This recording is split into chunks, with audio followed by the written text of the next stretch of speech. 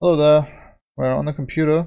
I'm just gonna run through a diagram and explain all the different parts of this engine. Let's just get my face out of the way. Alright. This is a rough diagram of how the engine is going to work. I'm going to go through each piece. I guess we'll just start with the global pieces. Alright, first thing we're going to have a look at is the logging system.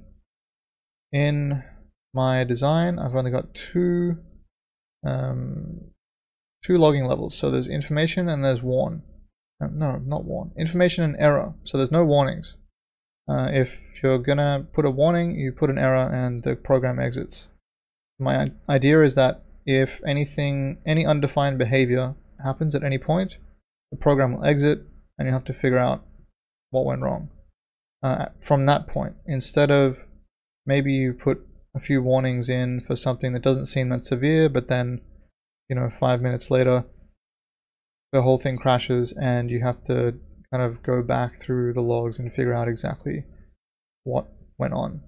But the idea of these global uh, systems is that you can access them from anywhere within the client side, which is where you're making a game, or within the engine side.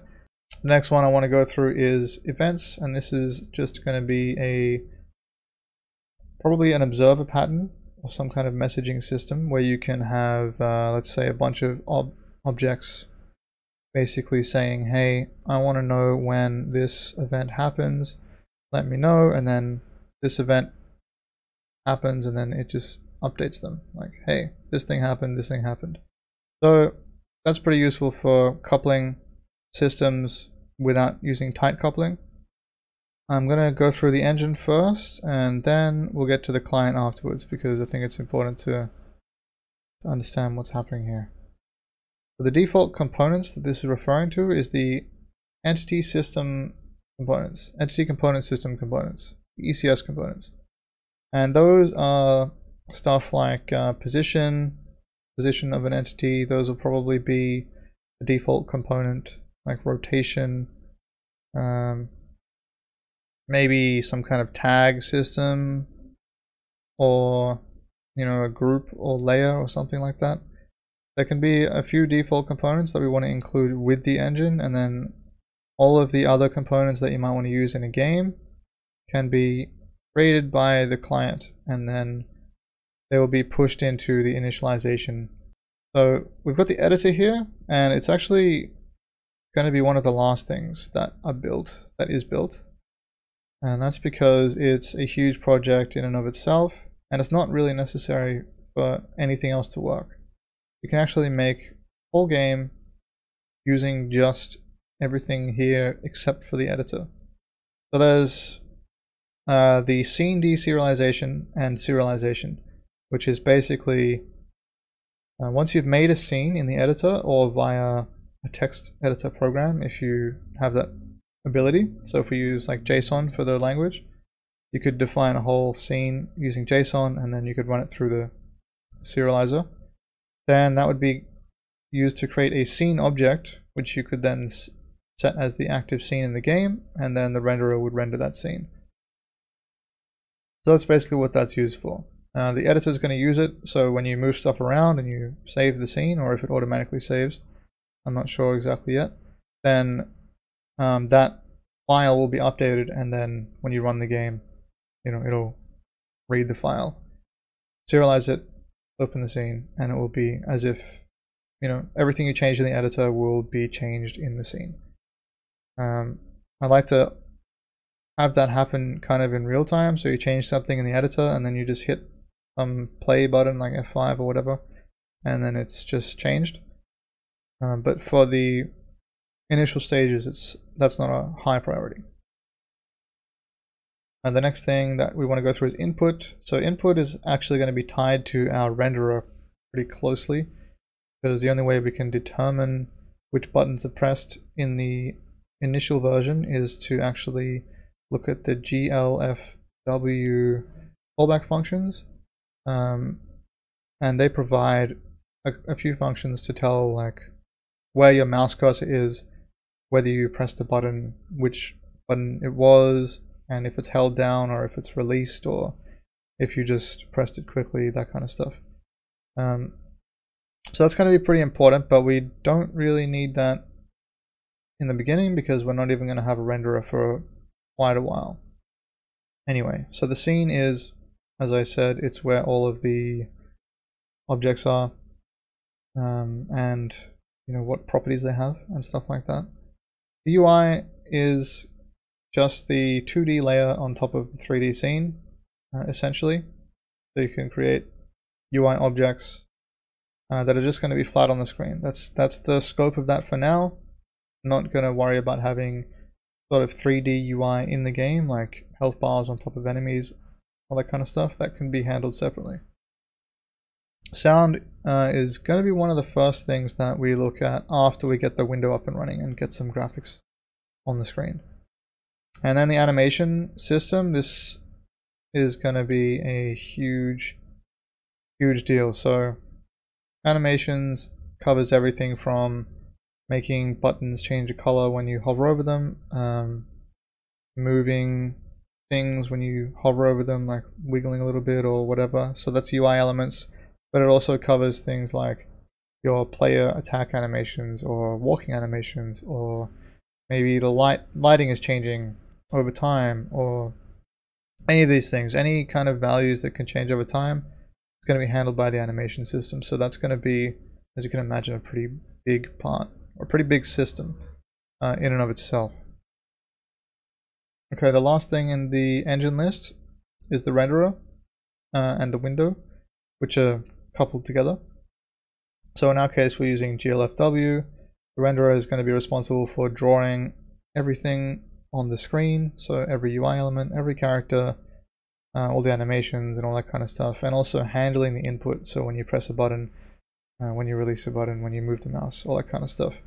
Um, so that's a very, very important part, but it also doesn't need to come until much later because there's a lot of work that we need to do before we can even begin to draw stuff on the screen and there's a lot of um, systems we can build and test without even drawing things on the screen. So this will be done probably at the end.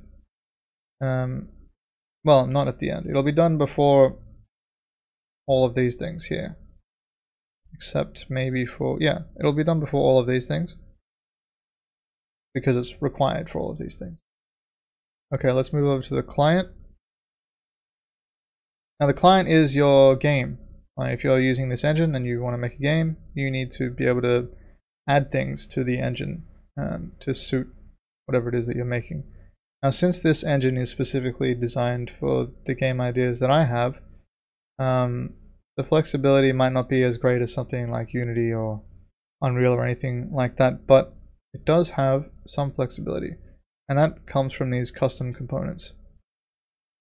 So custom components are basically data containers where you can add any kind of arbitrary data that you want to any entity in the game. Anyway, so the ECS systems um, is basically where you run all of the gameplay code. You can hook into the game's update loop, or you can hook into the event system, um, and you can write your own ECS systems that will run pieces of code um, on specific entities based on what kind of components they have. So we're going to get into all the nitty gritty of that when we actually make the ECS. Um, but for now, basically you need to know that's where the, the run, the gameplay code is.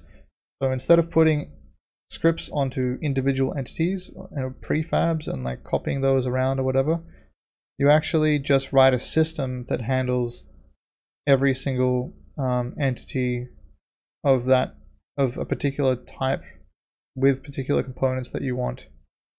And that system will just do whatever it is that you need to do with those entities. So let's say you have for instance a bunch of foliage in the world and you want it to sway in the wind or you can create a custom component um, or you can use one of the default components like the tag.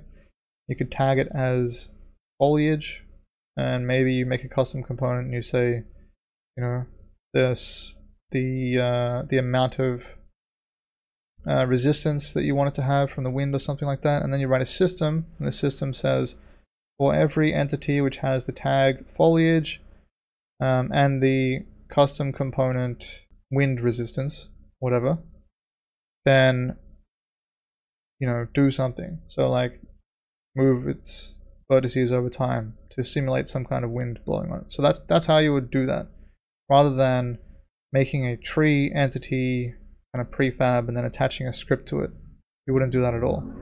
So with that being said, the current vision for this engine is that the client will also be written in C. We will not be using a scripting language at all. Uh, play around with the idea later of implementing something like Lua, where you can implement your custom components in ECS systems, event bindings, etc., etc., or maybe C Sharp or some other language, Go, who knows. Um, but for now, the idea is that it will all be written in C as well. The last thing we have here is event bindings. And this is kind of what I was talking about just a minute ago, where you can bind to particular events that exist um, within the engine. And that's going to be useful just for making sure things happen at the right time. So, you know, if you right click on a button, you want to make sure that in your game that does the thing that you want it to do. So you'd use this event binding system. Okay, I think that pretty much sums up the game engine kind of structure and how it's going to work. Okay, now I'm going to walk you guys through how to set up the development environment that you're going to need on Windows. If you already know how to set up uh, like Visual Studio and use C using the uh, Microsoft compiler, then by all means use that. And if you already know how to link, do linking and libraries and all that kind of stuff in Visual Studio, just use that. That's totally fine. I'm going to be showing how to set it up um, using the uh, MinGW on Windows, uh, which is basically just installing a bunch of GNU uh, tools. So it'll be very similar to how I'm doing it. A lot of things will be happening in the terminal. You know, maybe that's your thing, maybe that's not your thing, but that's what I'm going to be doing. So, see you in a second over on Windows.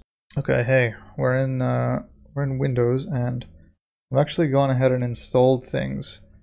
And I was going to run through the whole process again with you guys, but for some reason my internet in my virtual machine is now not working.